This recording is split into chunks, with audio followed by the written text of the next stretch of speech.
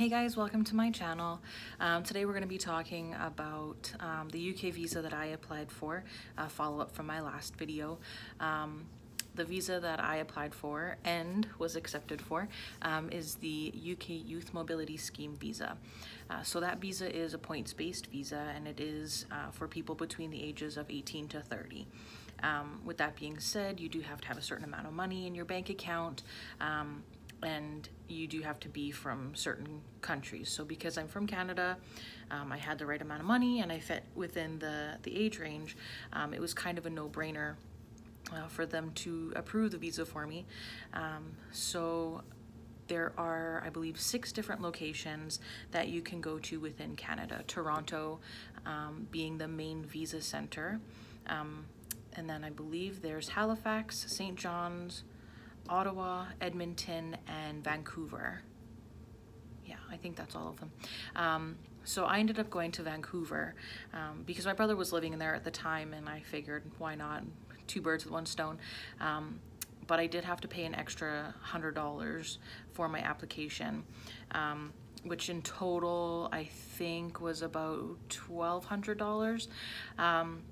So you fill out the application online, um, and then once that's filled out, you'll book an appointment at whichever visa center that you prefer. Um, and then from there, you have to make your own travel plans. Um, if you do live in one of those cities, you're lucky. Um, but yeah, I think Toronto's the only one that doesn't charge the extra $100 fee because they're the main location. Any other location, you have to pay an extra $100 on your application. Um, so with that being said, um, Christina and I, um, the girl that I'm traveling with, um, we traveled to Vancouver. Uh, we just stayed in an Airbnb and um, we went the day before our visa appointments just in case anything happened with the flights or anything. And then we stayed for a day after. So we were there for a total of three days. Now, the appointment, um, I believe hers was at 12.15 and mine was at 12.30. So we got there a little bit early to be safe. And it's a waiting room and of course this is just for the Vancouver because that's all I experienced.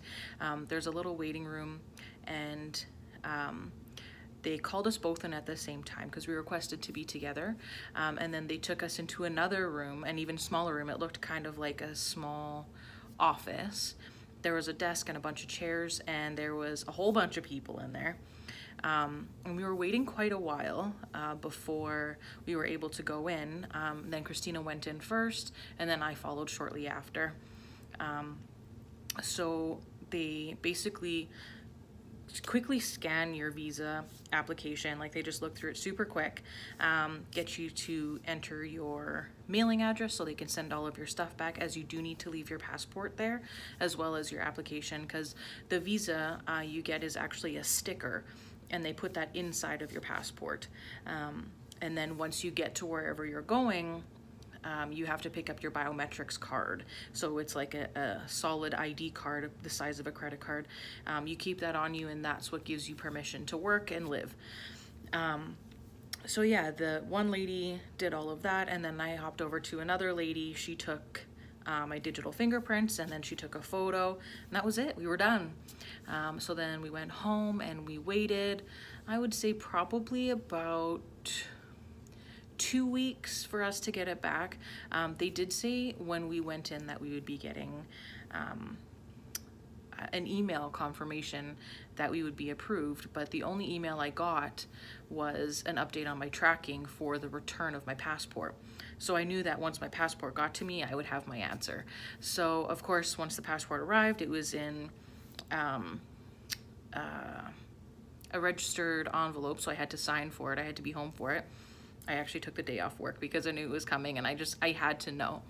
So um, I got my visa and it had all the paperwork in it.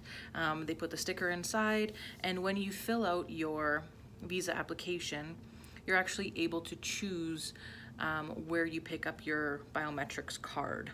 Um, so we chose, it's a, it has to be a post office because post office um, are able to verify your identity. So of course you have to bring your passport and everything. Um, so we chose um, just a post office that was close to the Airbnb that, Airbnb that we were staying at. Um, and yeah, so the the sticker that comes the sticker visa that comes inside your passport is good for 30 days from the day that you get there. So we knew that we would be getting there February 13th. We leave Winnipeg February 12th. We'll get there February 13th. So our visa is good from February 13th to March 13th. And then after that, we have to have our biometrics card. They do give you a 10 day window to get it once you um, get there. So um, yeah, we just made sure that we were close to it so we could get it quickly. Now we're getting really close, like it's January 9th. Um, so I'm leaving in about a month and I'm getting nervous and there's so many things that I feel like I need to do before I go. Um, but I know that all of these little things have been taken care of. So we have an Airbnb for the first two weeks. Um, I'm hoping that we'll be able to find a flat in that period of time. If not, we'll just have to extend our stay. I found that that was probably the best option because um, looking at hostels, I thought that they were going to be cheapest, um, but we were requiring something that had Wi-Fi because we would need to be on the internet to look for flats in the area. Um, and we also needed something that had a lockup. So something, you know, we're, cause we're gonna have all of our luggage with us. And that's looking about $30 Canadian a night. Um, and we ended up finding this Airbnb for $54 a night. Um, and it's an entire apartment. So, I mean, it, yeah, the choice is obvious. So we've got that for two weeks. If we can't find anything, hopefully we can extend our stay or find another Airbnb or go to a hostel from there. Um, but yeah, that's kind of all the information I have at this point. Um, if you have any questions, leave me a comment down below and I will get to them as soon as I can. Thanks.